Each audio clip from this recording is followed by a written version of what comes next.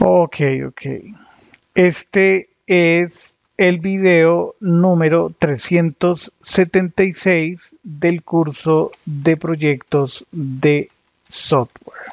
En el video anterior nos encargamos de adaptar las funciones que nos dio ChatGPT para el conteo del tiempo que un vehículo está parqueado en un módulo de una sede de un parqueadero.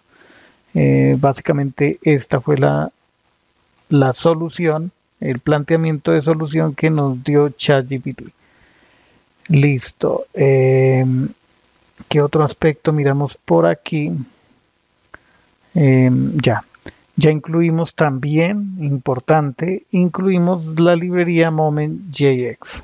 Vamos a realizar una prueba en la interfaz. Entonces nos regresamos aquí, eh, presionamos control R, ¿vale? Eh, damos clic en seleccionar sede, sede, perdón, sede, eh, clic en seleccionar. Y ahí está. Por ejemplo, el parqueo fue ayer 9 de agosto de 2024 a esta hora. Y ha transcurrido un día 22 horas. Si estaría bien, creo que no. Creo que no, porque tendría que decir un día y si fue a las 3 de la si a, las 3 de la tarde con 51 minutos, son las 2 y 44. Em, aquí solamente mostraría que no ha transcurrido ninguna hora, ¿o sí? Eh, no, a ver, hago bien las cuentas. El ingreso fue a, la, a las eh, 3 y 51 minutos. Entonces, no ha transcurrido ni siquiera un día. Porque si son las 2 y 45, faltaría una hora. Entonces, si, eh, cero días tendría que marcar acá. Tiene que marcar cero días con 20 tantas, serían 22 horas. Claro, está bien, porque son las 2 y 45. Bueno,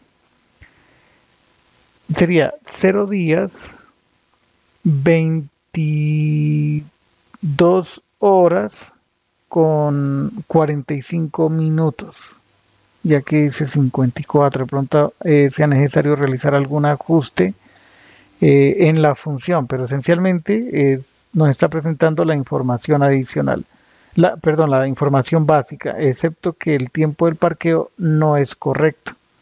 Es lo que deberíamos ajustar. Sobre ello debemos trabajar. Entonces, eh, realizaré una captura de pantalla. Observa que en la columna, ¿cómo se llama esa columna? La columna tiempo parqueado tiempo parqueado parqueado no se muestra em, no se muestra el tiempo transcurrido hasta el momento. Supongamos supongamos que son las 2 y 46 del 10 de agosto de 2024 Así, sí, 10 de agosto. Eh, ok, enviamos el prompt, esperamos un segundo mientras que se responde.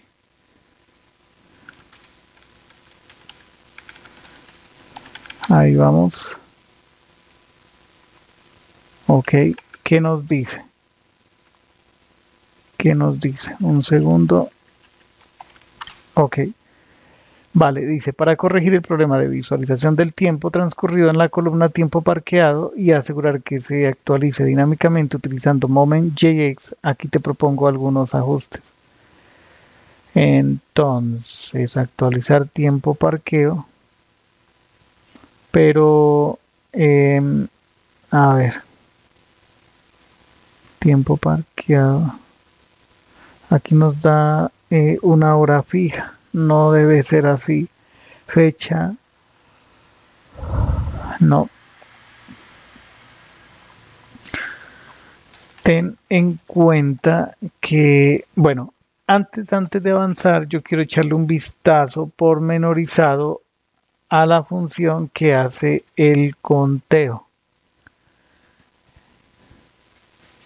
La cantidad de días está, está redondeando hacia abajo. As days, aquí debería ser. Eh, bueno, si nosotros podríamos restarle 1. Observemos esto. Vayamos a la interfaz, eh, refrescamos aquí, eh, seleccionamos la sede, da 0 días, pero aquí no está haciendo bien el conteo, ¿por qué? Horas sí sería 22, pero los segundos quiero mostrar en pantalla la hora que, que muestra, porque ahorita mismo son las 2 y 49. A ver.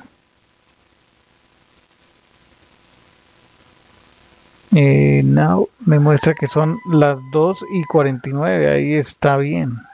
Eh, es el domingo 11 de agosto del 2024. Eh, 14 son las 2 y 49, exacto. Entonces, ¿por qué esto me da un tiempo diferente? ¿Por qué? ¿Por qué? Minutos. Horas hora duration es que ese tiempo lo está sacando desde aquí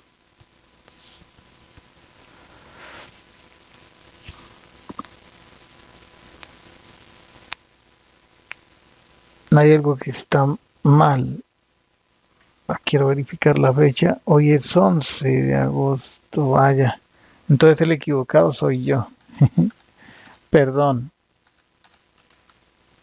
ahí sí me corrijo yo cometí un error ahí. Está bien, estaba convencido. El error mío, el error mío fue el siguiente. A ver si aquí puedo mostrar el calendario. No me deja mostrar el, calendario, pero si yo lo muestro en...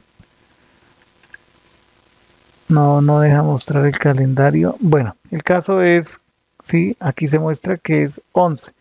Y ese registro en la base de datos está Em, del 9 de agosto y hoy es 11. Han transcurrido esa cantidad de horas. Eh, quiero verificar a ver qué pasa. Aquí tendría que pasar a indicar que son 23 horas 0 minutos 0 segundos cuando pase de 59. Si está haciendo bien el proceso.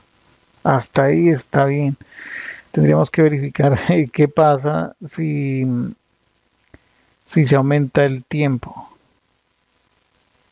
O que, em, sí, que, fuera una hora diferente o que estuviera próximo a completar para que se aumente a dos unidades de días. Vale, entonces yo creo que eh, podemos dejar hasta este punto. Eh, hay cómics pendientes no fue necesario eh, pedir hacer otro prompt a ChatGPT. En el siguiente video nos encargaremos de trabajar con este botón, el botón de retirar. Por ahora vamos bien. Adiós.